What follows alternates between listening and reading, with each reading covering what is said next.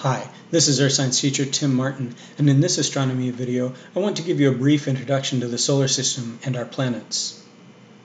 How many planets are there in the solar system? Well, to answer that question, we'll have to ask the question, what is a planet? And to answer that question, we'll have to go back in time. How good is your ancient Greek? Even if you're not familiar with ancient Greek, you may recognize a few of these letters pi, lambda, alpha, nu, eta, tau, eta, sigma? That's planetes. That's where our modern word planets comes from. According to the ancient Greeks, these were the wandering objects in the sky.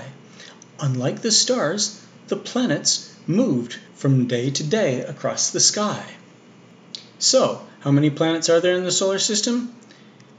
It helps if we understand another Romance language, but if we keep track of time, I'm sure you'll be familiar with many of these names. After all, the days of the week are named after, well, we have the sun's day, followed by the moon's day, and then Mars's day, Mercury's day, Jupiter's day, Venus's day, and yes, Saturn's day. All the days of the week are named after the objects that moved in the sky.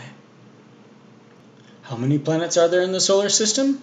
Well, according to the ancients, there were seven. Once Copernicus came along in the 1600s, and he was able to explain that the Earth was actually a planet that went around the Sun. The Sun and the Moon were demoted from planet status, but the Earth was added, and that brought the planet count to six. Using his large telescope in 1781, William Herschel discovered the planet Uranus. This brought the count back up to seven. Herschel also became known as the first individual to discover a planet because all of the other planets were discovered by the ancients long before recorded history. By 1865, the number had changed significantly. I use this number because I once saw an astronomy text from this year, and in that textbook, the planet count was listed at 83. Of course, now we know scientists were discovering many objects in the asteroid belt. Once we realized that many of these were quite small, the number in the early 20th century had dropped down to 8. So let's talk just a little bit about the discovery of that eighth planet. That was the discovery of Neptune. Scientists carefully measured the position of Uranus and realized there were some inconsistencies in its orbit. As Uranus was orbiting the Sun, there were some times when it appeared to be going faster than it was expected. Other times it appeared to be going slower. What could cause this? Well, a few scientists predicted that maybe there was another object deeper in space whose gravitational pull was causing Uranus to speed up and slow down in its orbit. It was Urbain Le Verrier who used mathematics to predict the location of this more distant object. Le Verrier contacted Johann Gottfried Galle, who in 1846 turned his telescope to the location predicted and within a very short time discovered Neptune. So it's worth noting that Neptune was predicted to exist by mathematics before it was actually observed to exist. Years later, similar observations of Neptune led some scientists to believe that there may be an object beyond Neptune. It was an American astronomer named Clyde Tombaugh working at the Lowell Observatory who was searching for this object beyond Neptune. In the process of this search, Tombaugh discovered Pluto. Pluto was not the object that was thought to be perturbing Neptune's orbit. In fact, those were simply errors in measurements of Neptune's orbit.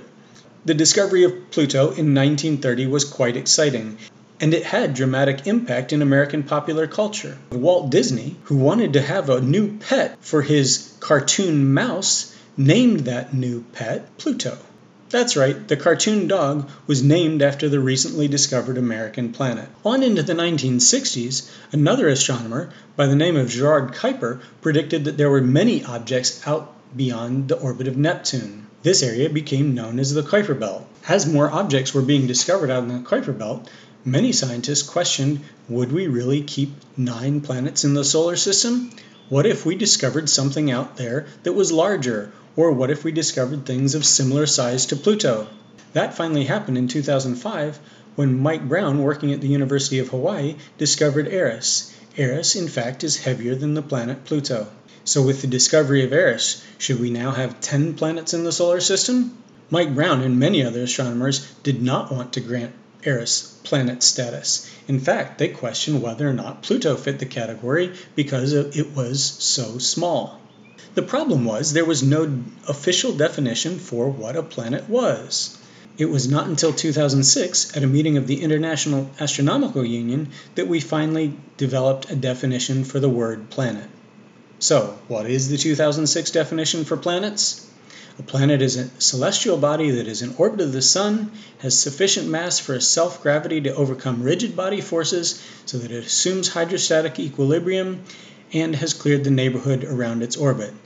They went on to describe dwarf planets and also small solar system bodies. But this definition is a little bit of a mouthful, so can we simplify it? Well, it's not too difficult. Does the object orbit the Sun? Does it have enough mass to be round? Does it have enough gravity to clear its orbit of other bodies? If you can answer yes to all of those questions, the object will be considered a planet. With this 2006 definition, we can now confidently say there are eight planets in our solar system. This definition is also important because in the last several decades, astronomers have been discovering numerous planets beyond our solar system. The discovery of these planets beyond our solar system and images taken by new telescopes have helped us understand something about planetary formation.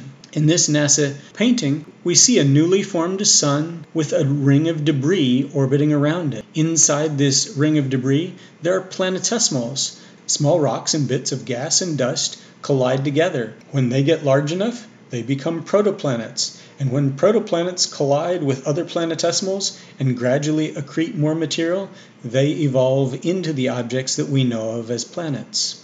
As it turns out, when we look back at our own solar system, there are groups of several planets. The warmer, rockier bodies orbit closer to the central star, and further out are the gassy and icy objects. Let's take a look at these groups. The first group is a group of four terrestrial planets. These are the planets that have rigid surfaces Mercury, Venus, Earth, and Mars. These four images are scaled proportionately, so Mercury is quite a bit smaller and Earth is the largest of these four. Beyond the orbit of Mars is another group of over a thousand objects. This debris we know of as the asteroid belt.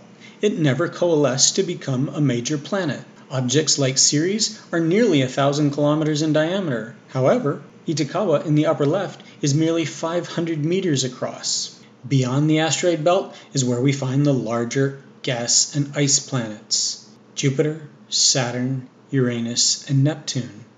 You can see the Earth to scale for comparison. Jupiter is more than 11 times the diameter of Earth. Jupiter and Saturn are made out of mostly gases, and Uranus and Neptune are a combination of gases and ices. Beyond the orbit of Neptune is where we find the Kuiper Belt, another area of debris. It's here where we find Pluto and Charon, the dwarf planet and its moon. Ultima Thule, both of these objects were recently visited by the New Horizons space mission. Out in the Kuiper Belt is where we'll find Eris. This is also the realm where many comets come from. Thanks for watching, and I hope to see you again on one of the other videos that goes into more detail about the terrestrial planets and the Jovian planets.